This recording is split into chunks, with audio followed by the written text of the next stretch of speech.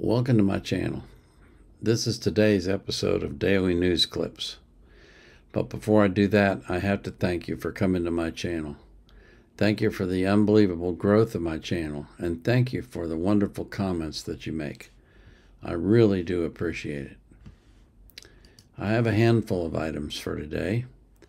The first one is uh, the Tucker Carlson encounter with Tulsi Gabbard. I usually try to stay away from political stuff on my channel, but um, I found this. It's an hour long interview, and I'm not going to play it for you. I'm just going to put the link in the description so you can watch it for yourself if you're interested. But I found this uh, interview interesting because she describes what happened to her in Washington when she didn't toe the party line and how she was treated by both Republican and Democrat politicians in Washington. It's really an eye opener, and I suggest that if you're interested in figuring out what's really going on in Washington, that you would, might be interested in watching this interview with Tulsi. Uh, if you're not familiar with her, she was a Democrat representative from Hawaii, and she was being touted as an up and coming star in the party and then she left the party and became an independent because of some of the things that she saw going on that she disagreed with. And that's when official Washington, both Republican and Democrat, turned their backs on her and told her that her career was over. She would never be in politics again. And I just think it's interesting to, to learn about the inside scoop on what took place it is something you might be interested in seeing. The second item that I have is an article titled The Russian Canary in the Coal Mine. And basically, what it is, is it's a, an article about how uh, what took place in Russia recently with the terrorist attack is coming to America because we've been allowing people to cross our border unvetted and they, there's an estimate of almost 300 known terrorists that have entered the United States over the past year and a half, and no one knows where they are. They've only located about 15. And so I've highlighted a couple of passages in this article that I thought uh, I wanted you to know about. The article begins with this. Um, well, that's not the very first thing. Well, let me read you the first sentence. I have grave concerns, fear even, arising out of three separate but related events, thousands of miles apart. The event most geographically distant from the U.S. occurred in Moscow. I'm referring, of course, to the ISIS attack on concertgoers that resulted in over 135 innocents being killed and scores more wounded, many critically. The second event is ongoing, thousands of miles away from the Moscow massacre. It is the wide open U.S. southern border that has existed as a matter of Biden administrative policy since January 2021. The millions of unverified and in many cases unknown people from over 160 countries who have flooded across our border is literally an invasion for those who don't like it being called an invasion, you're free to call it a migration, an immigration, or a pink rock candy mountain. Call it what you will. It, it will not change the fact that it is a massive invasion of our country by people who have no legal right to be here.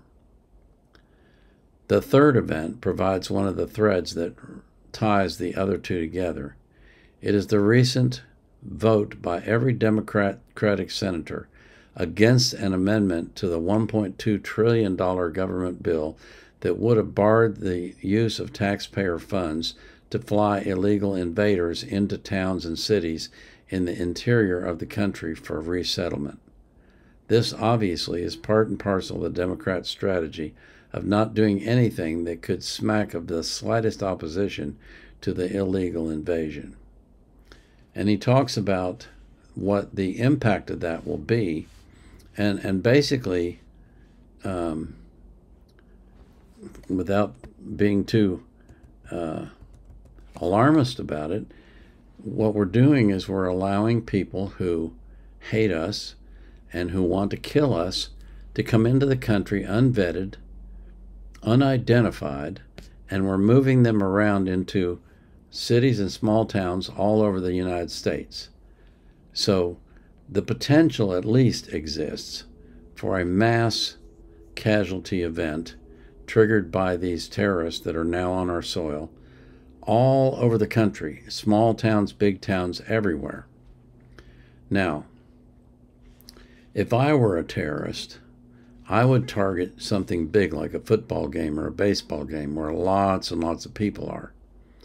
And I would try to kill as many of those people as I possibly could. But if you think about it, if you spread these guys out all over the country and they're all attacking simultaneously and everywhere, imagine the panic that that would create in the populace. And then what happens next?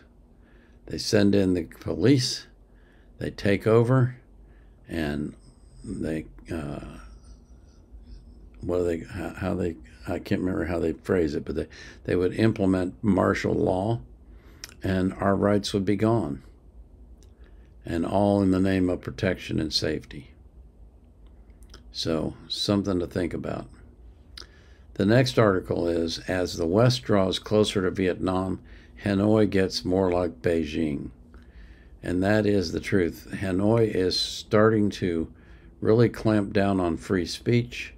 They're installing cameras everywhere, like like uh, uh, China has, and I don't know if you're familiar with what's going on in China, but they now have what they call a social credit system, which, if you don't have much social credit, you can't even get a job. And this is all controlled by the government. So I have no question in my mind that that's what the elites would love to implement worldwide if they could. The next article I have is It's All Much Worse Than I Thought. And this is an article about the uh, censorship that's been taking place in America and how it, how it is coordinated between the government and private entities. And uh, I thought you would be interested in reading, reading this article. It's by Michael Shellenberger. He is one of the individuals that exposed the Twitter files.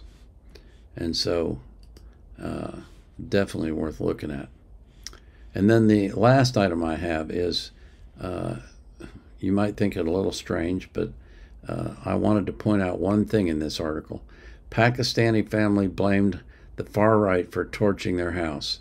A few candle lit vigils later, the truth has come out.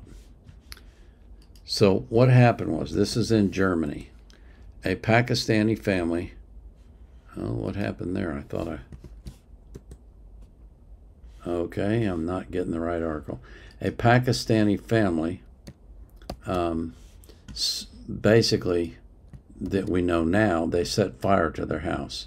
Their house burned down, and there were signs on the house that were um, xenophobic and Islamophobic, according to the authorities. And so there was this big hullabaloo, and they were going to investigate and all this stuff.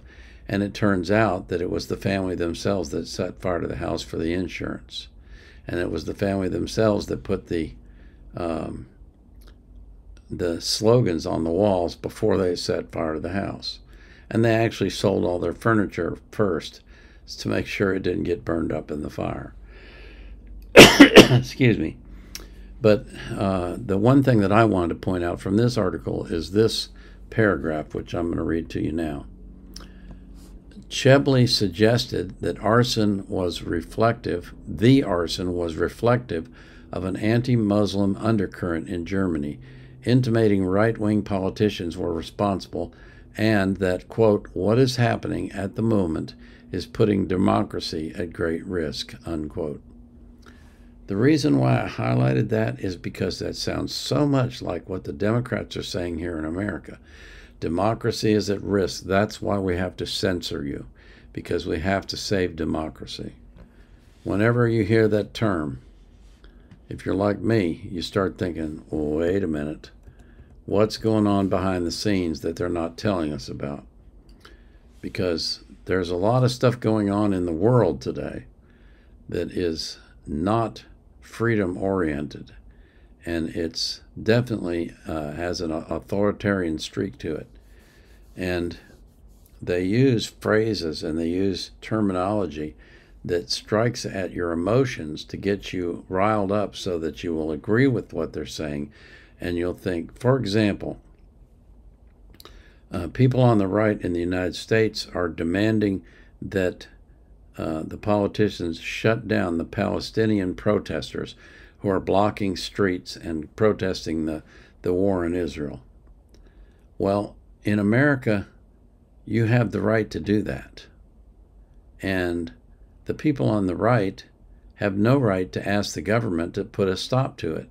As long as they're peaceably assembling, they have just as much right to do that as you do to protest for anything that, that is a concern to you. So, once again, we see that they can use issues, you know, whatever kind of issue it is, a war or whatever, to divide us and get us going against each other and demanding that the government intervene. And every time the government intervenes, it chips away at our freedoms and we lose more and more of our freedoms. And we don't need to be doing that. So people need to stop and think about what they're asking for because they might actually get it. And it might not be what they thought it would be. So that's the news for today. I thank you for coming to my channel, and I pray for you every day that you will live an abundant life, that you'll be healthy, and that you'll live a long time, and that God will keep you safe from harm. I pray He'll do the same for every person that you love. And I also pray that you will be anxious for nothing, but in all things, through prayer and supplication, with thanksgiving, you will make your requests known to God, and the peace that passes all understanding will keep your heart and mind in Christ Jesus. This is the Vietnam Era Vet out.